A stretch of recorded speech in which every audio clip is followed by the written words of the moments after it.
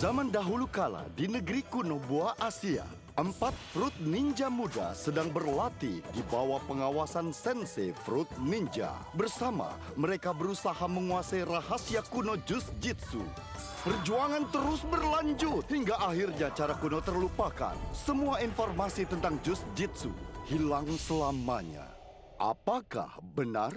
Iya, benar. Hingga sekarang, tepatnya seribu tahun kemudian, empat fruit ninja baru bersumpah membangkitkan seni jus jitsu dan melindunginya dari cengkraman penjahat. Tapi yang tidak mereka tahu, mereka tidak akan melakukannya sendirian.